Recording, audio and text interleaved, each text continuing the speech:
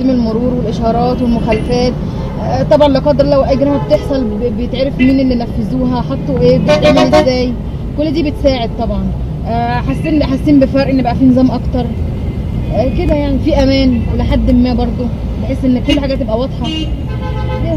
فكل واحد بيتصرف على حسب ما إيه يعني إذا كان سلوكه سلوكه همجي أو أو منظم. فما يعني الناس اللي بتمشي الشارع.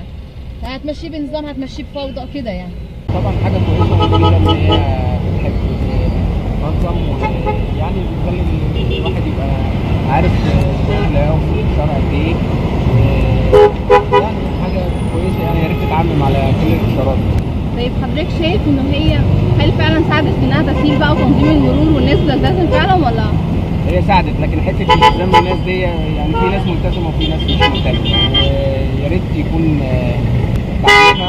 كل الاشارات مش الاشارات في الميادين الكبيرة المشهورة آه، بس يعني يبقى في جميع الإشارات في في جميع البلد. هل حضرتك شايف إن التجربة فعلا نافعة مفيدة؟ نظمت المرور قللت من زحمه آه طبعا كده كل واحد بيحترم الإشارة بتاعته وكل بقى بانتظامه وبقى يجي حضرتك في طريق متزحم وفي طريق سالك فبتكون بتكون ده بتكون زحمة وكده فما ينفعش نظام الإشارات هنا. يعني في ضغط في حتة وفي حتة تانية ضغط فما ينفعش الإشارات الاوتوماتيك دي.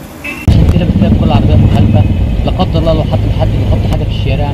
آه عربية واقفة راكنة وفيها حاجة تضر الشارع أو الناس أو كده. فالعربية كده تفوز أو بمعنى صح رقم العربية هيظهر. وممكن يظهر ملامح الناس فيها فكده يبقى في أمن أكتر في الشارع. ممكن نستغنى عن رجال الشرطة بدل ما كل شوية في الشارع وكلام من ده. الكاميرات دي ممكن نستغنى عنهم يبقى هم في مكان تاني أو